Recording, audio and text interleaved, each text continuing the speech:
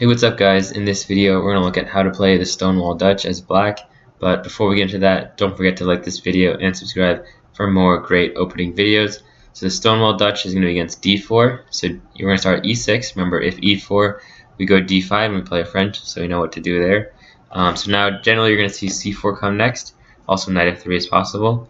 So here we're going to go f5, and now if knight c3 it's going to be very similar to a Nimzo where we go bishop b4 and we fight for this e4 square. So some possible variations are like knight f3, knight f6, e3, b6. Fianchetto this bishop like this, bishop d3 here. Remember, whenever he castles, um, that's when we take on c3.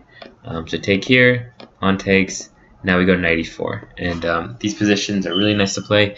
Basically, our plan is to castle, and then get some attack with rook f6, rook g6, try to get your queen over to h4 at some point, and remember, don't forget these two pieces over here. You have to at some point bring them in. Um, but using this long diagonal, you're going to see a lot of tactics on this g2 and g file. So that's what we're going to do when we see knight c3, um, basically letting us pin their knight. So now if they don't do that, if they go knight f3, we're going to continue knight f6, um, assuming they don't go knight c3, because if they go knight c3, we just transpose the bishop b4. Let's say g3, now we go c6 move order is not too important here. Bishop g2, d5. Basically, we're trying to get this set up. Now white's going to castle. Now we go bishop d6, and now if they go b3, um, we want basically white wants to trade this dark square bishop for our dark square bishop, our better piece. Remember, our bishop on c8 It's kind of the problem. Bishop doesn't have much to do. So here he's trying to go bishop a3, so we go queen e7, not letting him trade. Um, and then plan is very simple: castle, and you're going to see a5, b6, uh, moving these pawns like this. You're going to get this bishop out, develop your piece. And then at some point, you might push f4 and start a kingside attack, um, or try to push e5. But here you're going to see black has really no issues, no no weaknesses, um, and it's very comfortable to play, which is a lot more important um, than anything else. Now here, bishop d6, if they go bishop f4 like this, we're just going to chop away, just take this bishop. Because um, basically white wants to trade th these two bishops, um, and he's trying to go avoid going bishop f4. That's why they go b3, bishop a3. So here, if they go bishop f4, we punish them by giving them these double pawns. We're going to castle, and you're going to see at some point rook f6, um, and then rook g6, hitting this king side. Um, so that's what we're going to do there.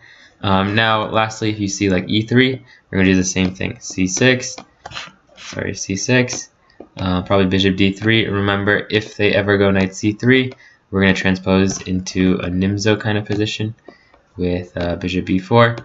Um, but let's say they don't do that. They go castle.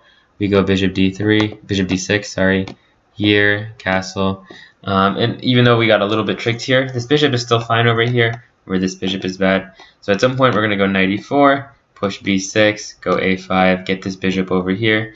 Um, and it's going to be a very comfortable position. You're going to see you have no kind of space to disadvantage. Um, vision is very solid. If they take here, generally we're going to take this way to get this bishop a little bit more life.